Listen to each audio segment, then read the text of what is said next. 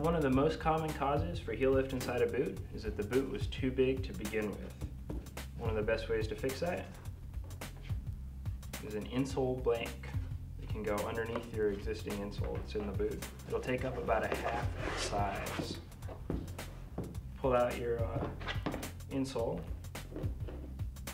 set it on top of the blank, grab a Sharpie,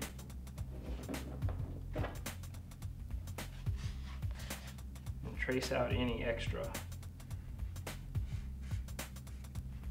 Trim off the extra. Place the insole blank inside the liner.